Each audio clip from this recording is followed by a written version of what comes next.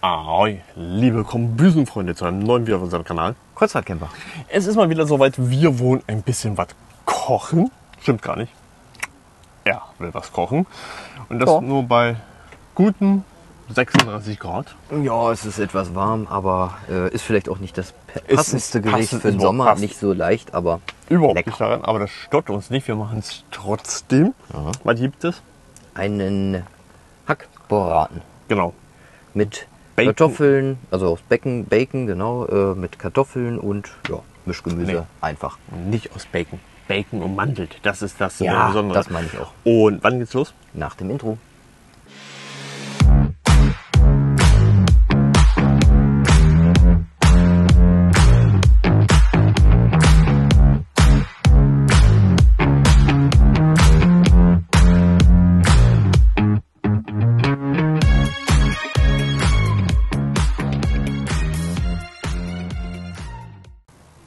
Und knapp zu den Zutaten. Ich glaube, zu äh, den Kartoffeln braucht man nicht viel sagen.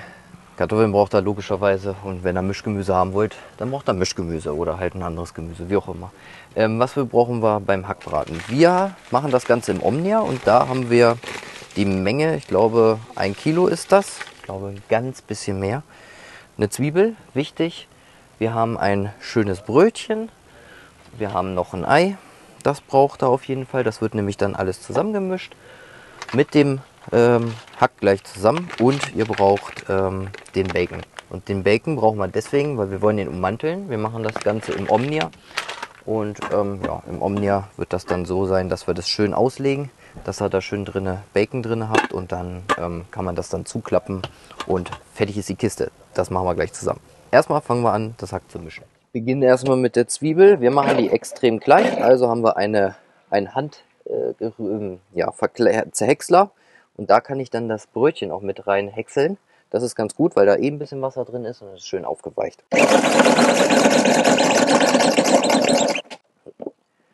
So, jetzt seht ihr, das ist klein gehäckselt und jetzt könnt ihr das einfach klein bröseln.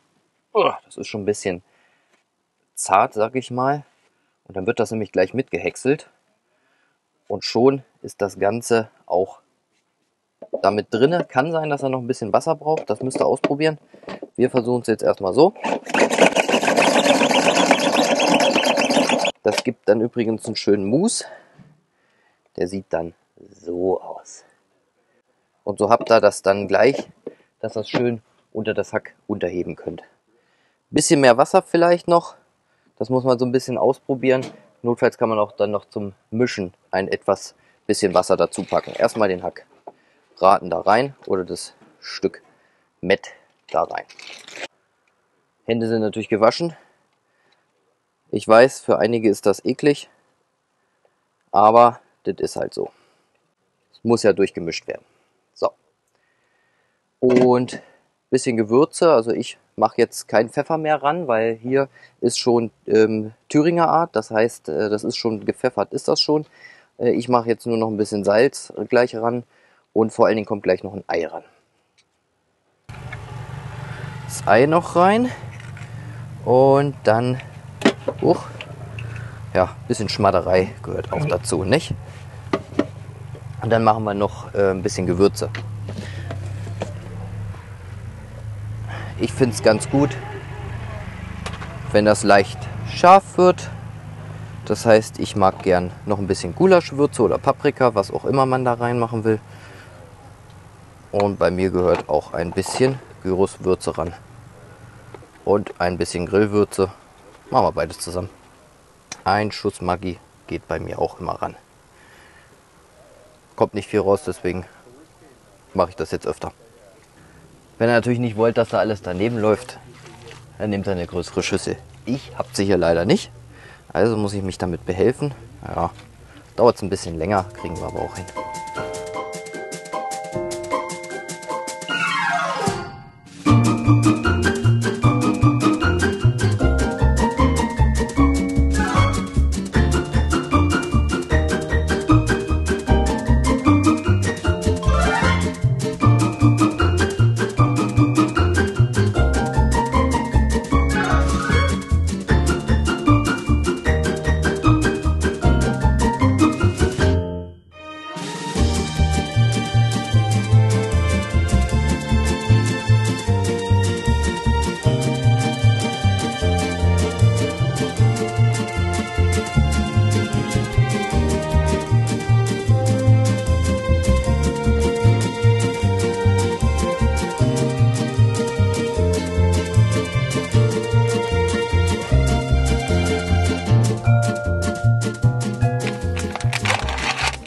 Öffne ich natürlich so ein schönes Bacon, äh, ja, Dings hier. Und ich lege das jetzt im Prinzip dort rein und den Rest klappe ich dann drüber. Na klar, überlappt sich das so ein bisschen, das ist klar. Das heißt, ihr werdet das schon dann sehen, dass das jetzt hier schon etwas überlappt. Denn man muss ja auch, ich sag mal, überall was hinbringen. Also wird sich das alles so ein bisschen natürlich hier in der Mitte ballen.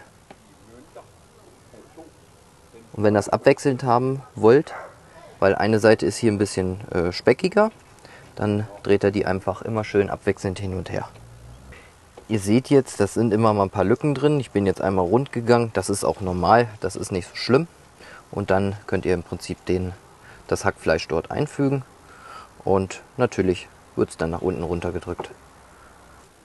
Nun wird das Ganze schön verteilt, gleichmäßig gemacht. Ja. Und keine Angst, das wird noch ein bisschen weniger. Also ihr müsst euch jetzt nicht, äh, ich sag mal, äh, Angst haben. Ich meine, dass es ein bisschen hinter die Silikonform läuft, das ist, denke ich, klar. Das ist normal, das kann passieren. Aber das kennt ihr ja sowieso schon vom Omnia-Kochen. Ja, und dann klappe ich eigentlich nur noch alles hier zusammen. So, wo noch halt was ist. Klar, manche Scheiben waren nicht ganz so lang. Dann hast du halt da nichts mehr über. Vielleicht kann die andere Seite dann noch dafür sorgen. Schauen wir mal.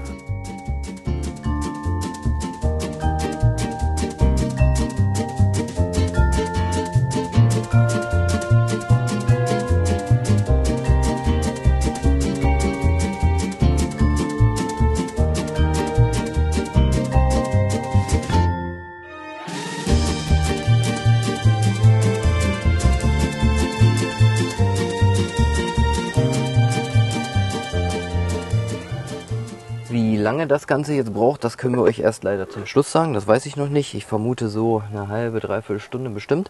Aber anfeuern auf jeden Fall erstmal bei äh, fünf Minuten auf Volldampf und dann dreht er runter. Ihr müsst mal so ein bisschen selber gucken. Wenn ihr jetzt so einen beschichteten habt oder sowas und es ein bisschen knuspriger an der Seite haben wollt, dann könnt ihr natürlich, natürlich ein bisschen mehr Feuer geben. Das muss man so ein bisschen selber dann ausprobieren. Ähm, bei mir wird es wahrscheinlich so halbe Hitze sein. Das muss ich dann nochmal testen, aber wenn es irgendwann zwischendurch zu viel wird, dann drehe ich es runter. In der Zeit mache ich jetzt Kartoffeln, die schäle ich jetzt schnell und dann äh, kommen die daneben auf den Pott.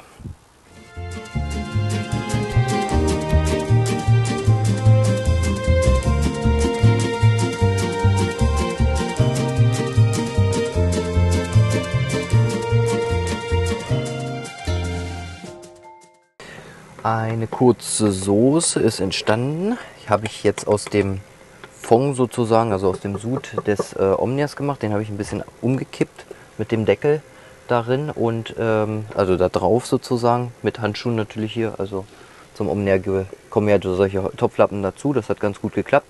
Habe ein bisschen Wasser ran gemacht und so weiter und habe nebenbei die Soße dann sozusagen ähm, angerührt.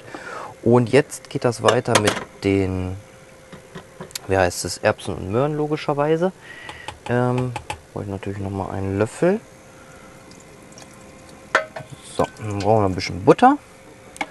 Und ja, das kommt dann da rein, wird ein bisschen angeschwitzt. Das wird jetzt nur erwärmt, das geht ja relativ flott. Deswegen wollten wir einfaches Gemüse, also deswegen haben wir das gewählt.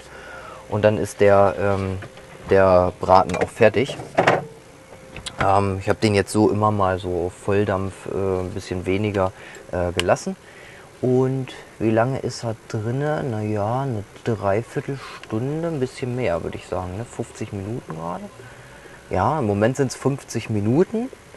Genau, also im Moment sind es 50 Minuten und ich lasse das jetzt natürlich noch so lange, wie lange hier die, äh, das Erbsen und Möhren hier auch braucht. Also von daher, ich denke, das wird noch so circa 5 Minuten sein. Dann sind es halt so 55 Minuten. Also rechnet mit einer Stunde. Ich glaube, das ist ganz gut. Und dann gucken wir mal, ob uns das Ganze auch mundet.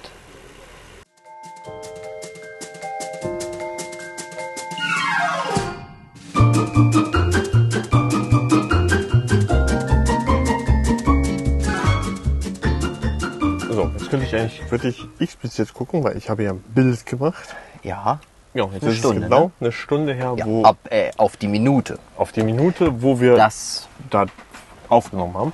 Genau. Und dann ist es schon auf dem Teller sozusagen. Und wenn ihr halt die Kamera nicht habt, geht das alles viel schneller, weil darauf achtet man ja nicht.